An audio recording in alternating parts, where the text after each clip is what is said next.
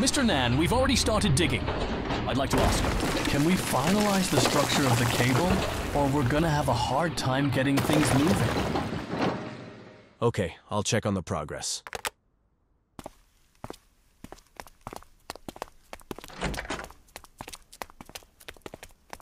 Mr. Nan, I was just on my way to see you. Jiang, what's the status of the cable problem we talked about? Mr. Nan, you said that our proposed temperature gap would not work in terms of the connection. Yes, although it is a good way to solve the problem of thermal expansion and cold contraction in traditional structures, like normal train tracks are connected by temperature seams.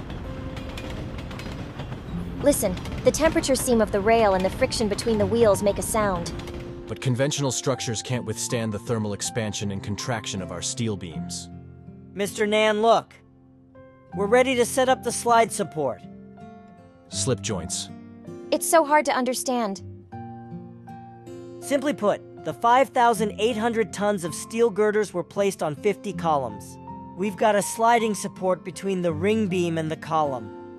Then when he expands and contracts, it'll release all its deformations. Yeah. The steel beams are free to contract or expand on 50 columns. It also maintains the structural integrity of FAST. Okay, okay, Jiang, you're doing great. I'll talk to the construction site. The structure is almost finalized. Mr. Nan, What's going on?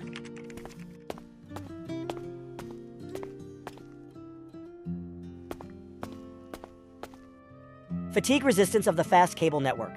There might be a problem. Huh? Can this problem be solved? I've checked them at home and abroad. There's no precedent. Ah, what should we do? Don't worry. Let me take a closer look.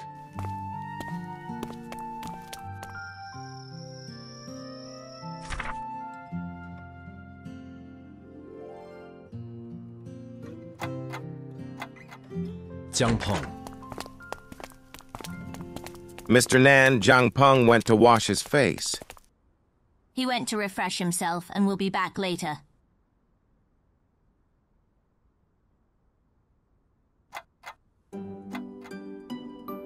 Oh, I didn't realize it was so late. Jiang, do you really think this problem can't be solved? All I can say is that there's really no precedent for this, so don't worry about it. So. Then let's do something about it. Yeah, that's right. It's late. Whether the cable will resist fatigue is another matter. We mustn't tire ourselves out too much. You've got to keep it in check. Jiang, I'm in a hurry for a reason. You have a PhD in structural engineering. It's not my area of expertise, but I have to think about the fate of the whole program. Nothing can go wrong with the details. Yes, Mr. Nan. The current general standard for stress amplitude in steel cables is 250 MPa.